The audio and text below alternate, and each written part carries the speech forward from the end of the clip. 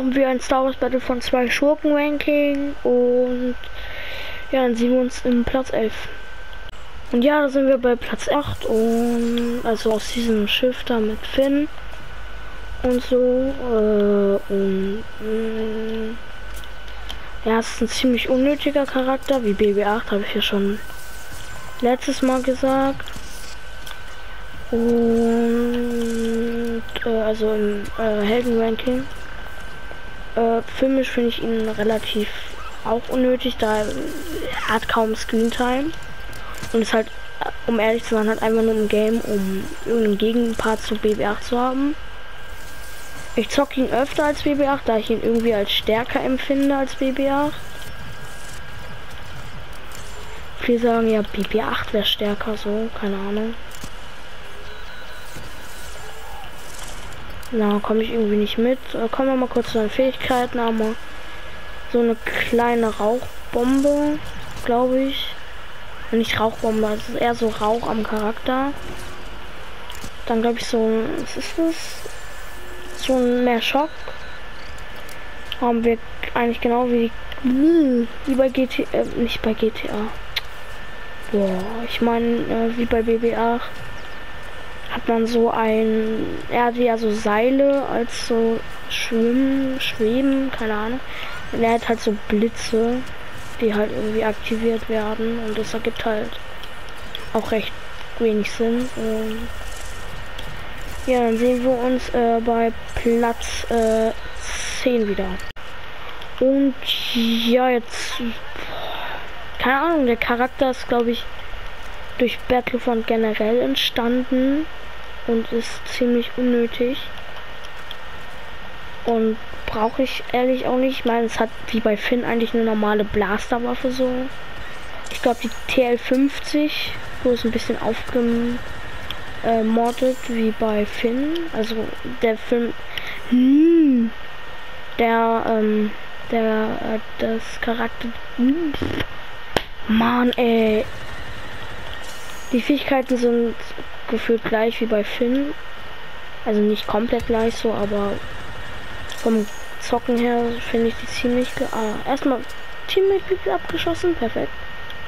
Äh, in der Story fand ich sie eigentlich nicht so nötig wie in Multiplayer oder halt Offline Game, aber sonst war sie schon ziemlich, also in Story war sie ziemlich äh, nicer Charakter und hat auch ist auf jeden Fall charismatisch. Digga, einfach Deutsch verlernt, gar keinen Bock mehr. Boah, das, das war ein harter Schlag, ne? Wenn ihr das Video seht, ist glaube ich, keine Ahnung, 0 Uhr 5, 6, keine Ahnung. Boah, kommen wir mal vor zu den Fähigkeiten, weil ich da gerade momentan richtig reinscheiße. Einmal natürlich so ein Schild, der absolut viel bringt. Dann haben wir einmal so ein ja, dann kann er halt einen schocken. Dann haben wir noch so einen Sniper. Wenn man es überhaupt so nennen kann. Ja, überhaupt nichts bringt so. Ist halt wie bei, ähm, sieht aus wie dieses eine Gewehr beim bei der Sniper-Klasse. Und für, für mich kann man halt nicht sagen. Dafür habe ich halt gamisch was gesagt. Und Mit der Waffe wäre sie, by the way, einzigartiger gewesen. Aber ja, dann sehen wir uns am Platz 9 wieder. Und ciao. Und ja, was soll man dazu sagen, ne? Äh, filmisch ist der Charakter natürlich richtig gut und auch, auch richtig geil. Kommt ja auch demnächst eine Serie, das Buch vom The Book of Boba Fett. Worauf ich auch schon sehr hype bin, wo, wozu wahrscheinlich auch Recaps kommen. Da weiß ich aber nicht. Da werde ich auf jeden Fall ein Update machen. Ich bin auch gerade am Videoplan, vielleicht ein monatliches Update zu machen, welche Videos diesen Monat kommen oder welches Content, welcher Content. Aber ja, das ist jetzt ein anderes Thema. Ähm und ja, filmisch wie gesagt ist der Charakter ziemlich nice. Und den finde ich auch ziemlich, also, habe ich ja schon gerade, habe ich gerade gesagt, finde ich ziemlich nice. Auch, aber halt im Game ist er halt, was soll ich sagen? Er ist echt nicht gut im Game. Ähm, Alleine zum Beispiel die Einheit des Jet Troopers finde ich zum Beispiel besser, ist besser spielbar und ist halt auch einfach stärker als Boba im Game. Und das ist das soll und das sollte halt nicht so sein, wie ich finde, weil es halt immer noch Boba Fett ist. By the way, Grüße an die Map, Digga, die perfekt passt, aber äh, das ist jetzt ein anderes Thema. Ähm, und sonst kann man halt jetzt zum Beispiel die Skins, es gibt nicht mal einen Skin für Boba Fett. Also zum Beispiel, die haben den, den Held an sich auch nicht wirklich irgendwie was gemacht. Ähm, sonst kann man jetzt filmisch beziehungsweise nichts mehr sagen, außer die Fähigkeiten, die einmal so drei Raketen die ich gerade jetzt nicht testen konnte. Grüße raus. Haben wir einmal so eine Blendgranate. Beziehungsweise, nee, das ist so eine Granate, glaube ich, die äh, ein die Waffe wegmacht, wenn ich mich nicht irre. Haben wir natürlich einmal so ein Scan, der mh, hm, schon was bringt, aber halt jetzt nichts krass Besonderes ist. Und ja. Sonst sehen wir uns dann ähm, auf Platz 8 wieder. Und auf Platz 8 ist äh, Bosk. Ähm, ja. Der, der ist, viele sagen immer, der ist irgendwie noob-freundlich, aber bin ehrlich, wo ich das Game angefangen habe, hatte ich halt ganz schwere Probleme mit Boss. Ähm, und bin gar nicht klar gekommen, was ich immer heute noch nicht tue, weil mein Aim einfach mit Boss scheiße ist. Oder scheiße war, keine Ahnung. Ich zock ihn auch relativ wenig äh, in generellen Games, also HVS zum Beispiel gar nicht. Galaktischer Angriff selten.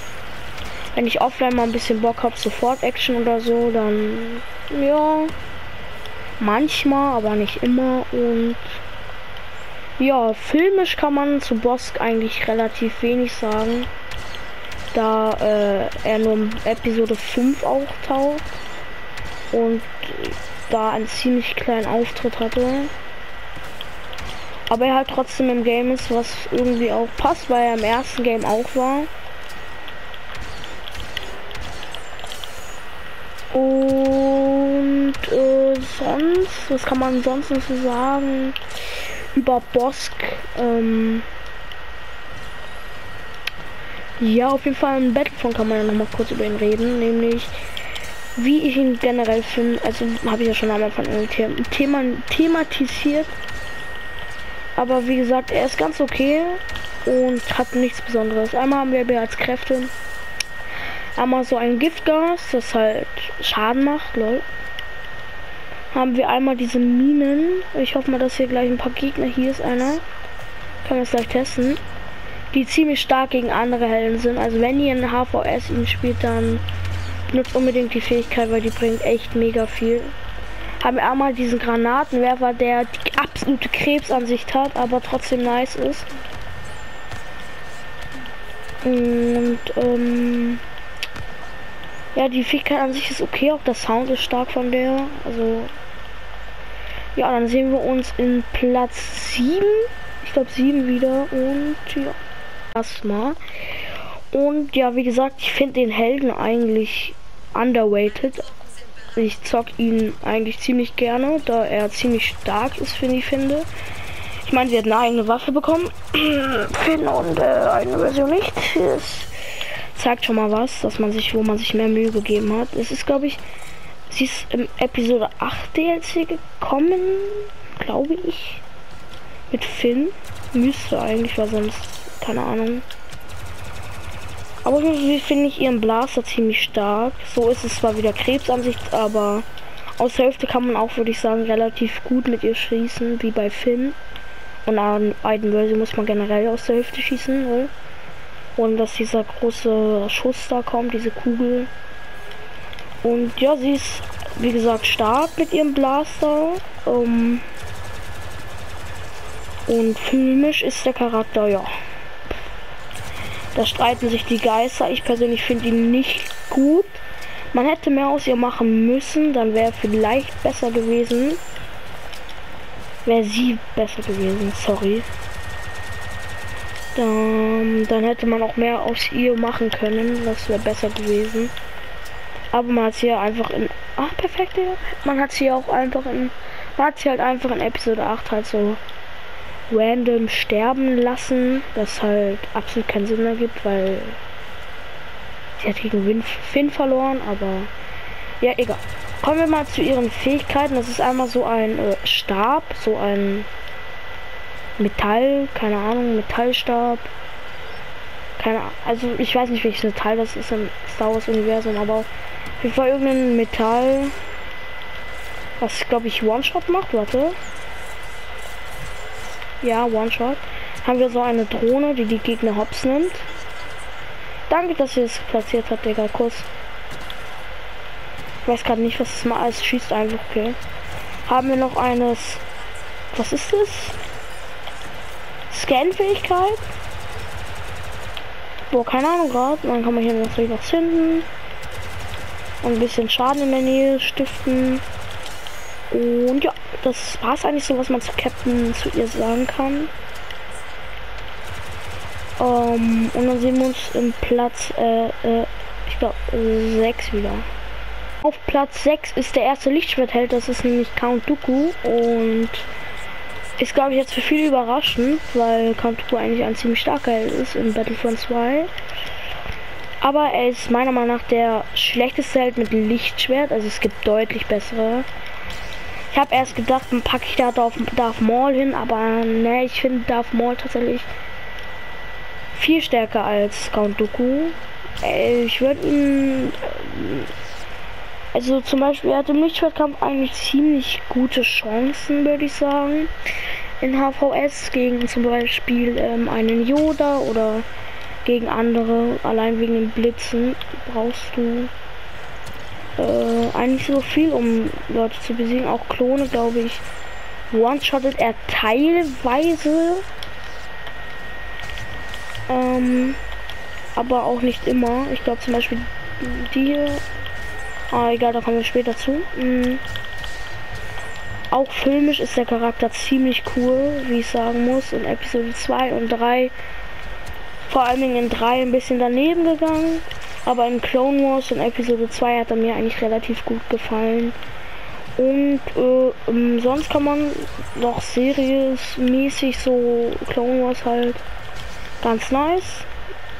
Ich hätte mir auch gern so eine Spin-off-Serie gesehen, wie man seine Backstory erklärt und so weiter. Klar, es gibt glaube ich in Büchern und Comics, aber ich lese eigentlich keine Star Wars Bücher oder Comics. Und ähm, ja, was kann man sonst noch? Achso, ja, natürlich die Fähigkeiten, aber so ein Blitz, der richtig viel bringt eigentlich im Kampf.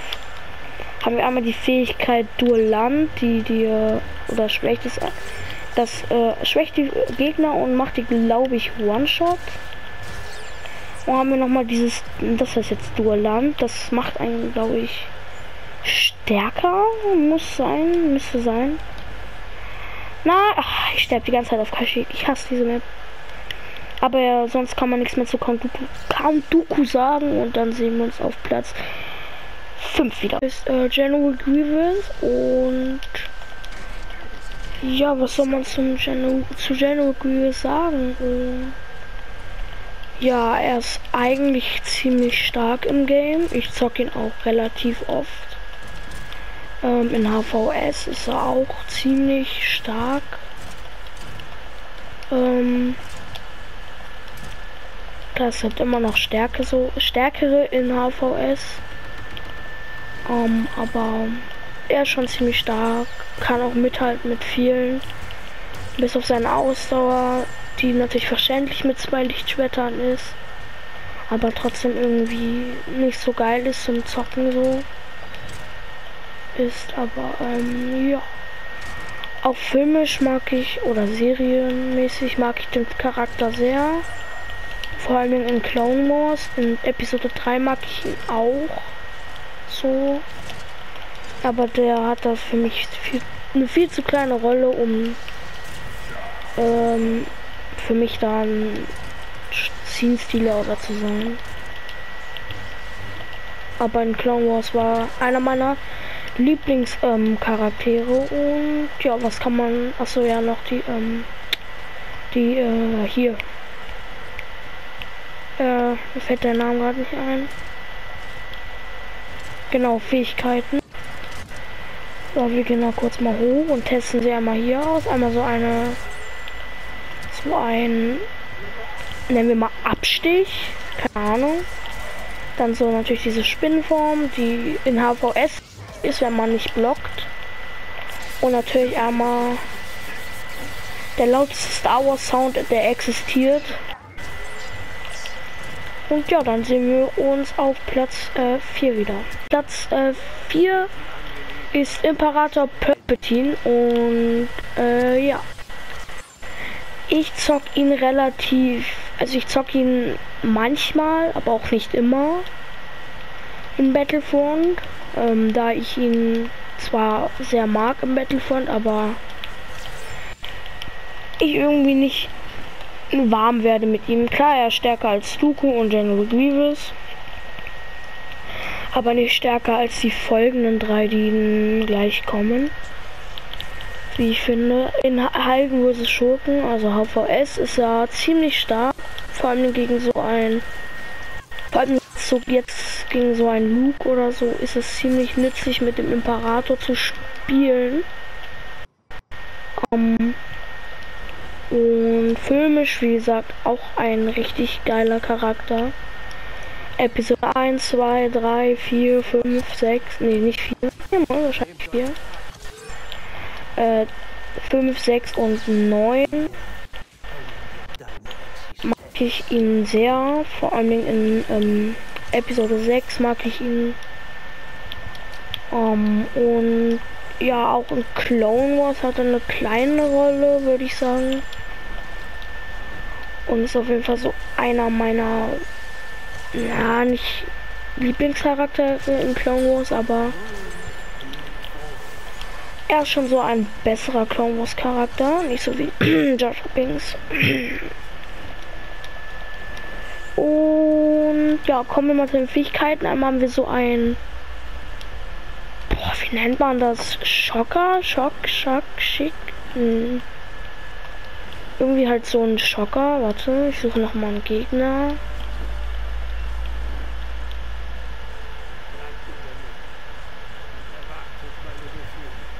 Da ist einer. Ah, egal. Über einmal so ein Schocker. Dann haben wir auch mal so ein Ja, es dauert jetzt ein bisschen wieder, bis man wieder einen Gegner findet. Weil sonst geht die Fähigkeit nämlich gar nicht.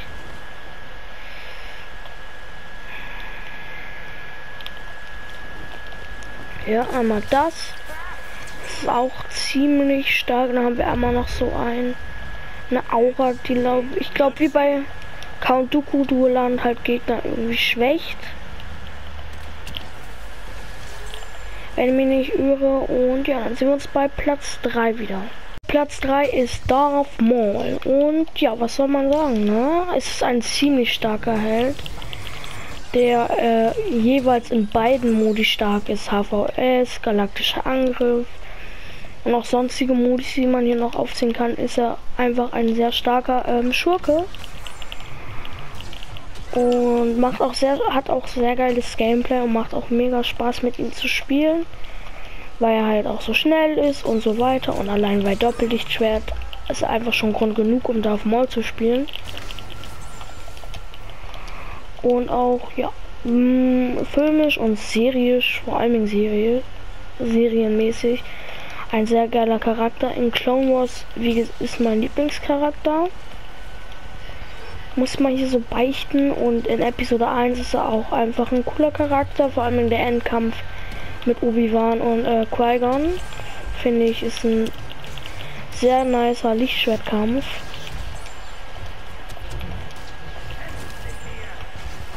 Und macht super Spaß halt bei Lichtschwertkämpfen, auch in Clone Wars zuzugucken. Und auch in Staffel 7 ist der Charakter ziemlich äh, gelungen. Oder was kann man noch sagen? Jetzt kommen wir, ob wir haben oder noch nicht. wie gesagt, ich, ich zocke ihn sehr gerne um in den Modis und kommen wir jetzt noch mal zu den Fähigkeiten. Einmal halt so ein Lichtschwertwurf, wofür ich mal wieder einen Gegner brauche.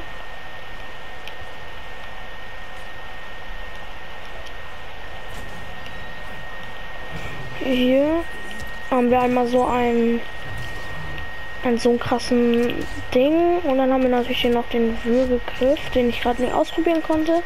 Danke dafür. Aber ähm, ja, dann sehen wir uns auf Platz äh, Nummer 2 wieder. Und auf Platz 2 ist Darth Vader. Und er ist mit ähm, Platz 1 der stärkste Held meiner Meinung nach im Game generell. Er ist in galaktischer Angriff und vor allem in Helden vs. Schurken ein sehr, sehr, sehr, sehr, sehr, sehr, sehr starker Held. Man hat kaum eine Chance, ihn so zu besiegen in, mit, Troop, mit Troopern. Höchstens mit Helden und so weiter, wenn überhaupt. Und er ist, wie gesagt, schon ziemlich stark. Stärker als ein Darth Maul. Auch ähm, generell so gesehen. Darth Maul einfach so, äh, nicht Darth Maul, Darth Vader ist einfach auch so einer meiner Lieblings-Star Wars Charaktere. Und äh, in Filmen mag ich ihn auch unglaublich krass gerne. Vor allem in Episode 5 ist er mein Lieblingscharakter und ich mag ihn einfach krass und ja, auch in der letzten Folge Clone Wars war es ziemlich nice, ihn mal wieder so lange nach so langer Zeit zu sehen. Und ja. Ähm, was kann man noch sagen? Wie oft ich ihn zocke, ist natürlich so gut wie immer. Wenn ich die Chance habe, dann tue ich es. Und ja, hat auch eine starke Ausdauer und eine ziemlich lange Ausdauer. Was natürlich nochmal dazu führt, dass ich ihn öfter spiele und spielen mag. Kommen wir mal zu seinen Fähigkeiten. Das ist einmal natürlich wieder so ein Lichtschwertwurf wie bei Darth Maul. Immer ein stärkerer Würgegriff, Würgegriff als bei Darth Maul, glaube ich. Und einmal so ein Lebensmachen, womit er auch dann der Held ist mit dem meisten Leben, glaube ich. Also 1150, glaube ich, ist der stärkste. Und ähm, ja, dann sehen wir uns auf den Platz Nummer 1 wieder. Auf Platz 1 ist Kylo Ren und er ist einfach meiner Meinung nach das stärkste erhält in Star Wars Battlefront 2 und ich zock ihn gefühlt öfter als ich meinen Vater sehe, Kappa. Um, um, er ist sehr stark, auch in ähm, HV ist er, ist er ein sehr starker ähm, Schurke. Wenn nicht sogar mein Main-Schurke in HVS, wenn er nicht besetzt ist. und ja, auch in galaktischer Angriff und andere Modi zocke ich ihn oft. Zwar nicht immer, weil, da, weil ich da auch manchmal andere zocke, aber wie gesagt, er ist der stärkste und meiner Meinung nach hat er auch das coolste Lichtschwert in Star Wars. Oder Laserschwert, keine Ahnung, wie ihr das nennt, nennen wollt. Um, ähm, aber äh, ja, auch äh, filmisch ist es einer der besten Star Wars Charaktere. Ja, finde ich schon. Um, ähm, natürlich auch in Episode 7. Ich finde ihn persönlich in Episode 8 sehr gut. Das ist so mein Lieblingsteil an Episode 8. Das ist Kylo Ren und ähm, ja, das kann man auch so sagen. Er ist zwar kein Sith, wenn ich mich nicht irre. Schreibt, falls ihr es ergänzen wollt, schreibt es gerne in die Kommentare. Und ähm, kommen wir mal zu den Fähigkeiten. Einmal natürlich so ein Machtschub, der die komplett hops nimmt. Dann haben wir auch noch so eine Starre. Kann man, nennt man so Starre? Ja, das ist so eine Starre halt. Und dann gibt es natürlich noch den Rage Angriff. Dazu möchten aber, müssen aber viele Gegner in der Nähe von euch sein. Und ja, dann sehen wir uns im, im Auto wieder. Und ähm, ja, da bedanke ich mich, dass ihr alle bei dem Video zugeschaut haben habt. Das Video kommt jetzt am Dienstag und dann sehen wir uns morgen wahrscheinlich bei der No Way Home Trailer Analyse wieder. Und bis dahin wünsche ich euch noch einen super geilen Tag und ähm, ja, haut rein.